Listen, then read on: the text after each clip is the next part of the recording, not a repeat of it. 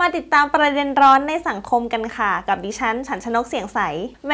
นี่มันซีรีส์เกาหลีแล้วหนึ่งค่ะสำหรับคู่จิ้นที่กลายเป็นคู่จริง อย่างนนกุลและแอฟ ทักษอรค่ะ เพราะล่าสุดค่ะได้ออกมายอมรับกันแล้วค่ะว่าคุยกันอยู่จริง เดี๋ยววันนี้ค่ะ เราจะพาไปย้อนไทม์ไลน์กันนะคะ หากย้อนไทม์ไลน์กลับไปแอฟกับนนกุลค่ะ ทั้งสองเจอกันครั้งแรกในปี 65 ในกองถ่ายหารักด้วยใจเธอ ของค่าย GMM TV ซึ่งรีเมคจากซีรีส์จีนชื่อดังจากในจอค่ะสู่นอกจอ เพราะนนกุลนั้นประทับใจแอฟตั้งแต่วันแรก เพราะเห็นว่าแอฟนั้นใส่ใจดูแลทุกคนดีมากๆ หลังเริ่มถ่ายได้ไม่นานค่ะ ทั้งที่ยังไม่ได้สนิทกัน ตอนนนกุลป่วยต้องนอนโรงพยาบาล แอฟก็ส่งอาหารมาให้ทานถึงที่ทำให้นนกุลยิ่งประทับใจในตัวแอฟมากขึ้น หลังจากนั้นค่ะนนกุลได้ชวนแอฟทำเวิร์กช็อปด้วยการทดลองเป็นแฟนกันทางโทรศัพท์ โดยทั้งคู่ค่ะ จะสวมคาแรคเตอร์ตัวละครในเรื่อง แล้วคุยโทรศัพท์เหมือนเป็นแฟนกันวันละ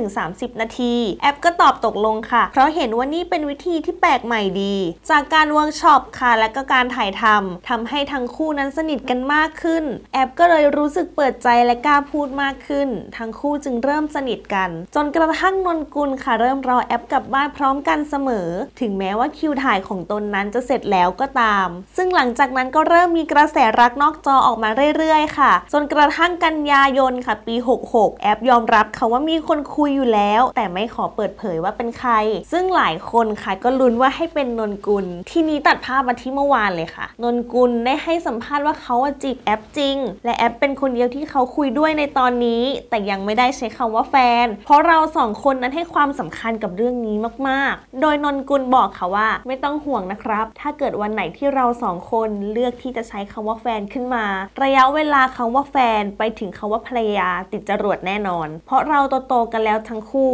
และมันไม่ใช่เรื่องที่ควรจะใช้เวลานานขนาดนั้น เดี๋ยวพี่เขาไม่รอผม ส่วนความประทับใจที่นนกุลมีต่อสาวแอฟ ตั้งแต่วันแรกที่เจอค่ะนั่นเพราะว่าแอฟ take care คนอื่นดีมาก และความประทับใจนั้นยิ่งชัดขึ้น ตอนที่เขาป่วยระหว่างถ่ายซีรีส์ด้วยกันแล้วแอฟส่งของมาเยี่ยม หลังถ่ายซีรีส์จบค่ะ ก็ยังคุยกันตามประสาทพี่น้องเรื่อยๆ แต่ยิ่งคุยกันก็ยิ่งรู้สึกชอบพี่เขามากขึ้น ส่วนการขยับความสัมพันธ์จากพี่น้องให้ให้ชัดขึ้นจากทั้งสองนั้น เกิดขึ้นก่อนที่คุณพ่อแอปจะเสียได้ไม่นานค่ะ การจะจีบแอปทัศออน ตอนแรกก็รู้สึกหวั่นๆเหมือนกัน แต่เราก็พยายามในแบบของเรา มีกลัวแห้วบ้าง แต่เราให้ความจริงใจเต็มร้อย ซึ่งนนนะคะไม่ได้บอกแอปตรงๆ แต่ใช้วิธีชวนไปทานข้าว ชวนดูหนัง ส่วนน้องปีใหม่ก็เป็นเด็กที่น่ารักค่ะ และเข้ากับทุกคนได้อยู่แล้ว วันนี้ที่มาสัมภาษณ์ก็บอกพี่แอปแล้วว่าจะตอบตามความจริง ส่วนเรื่องอายุไม่ว่าวัยไหนเพศไหน มันไม่มีอะไรผิดถ้าเราเข้าใจกัน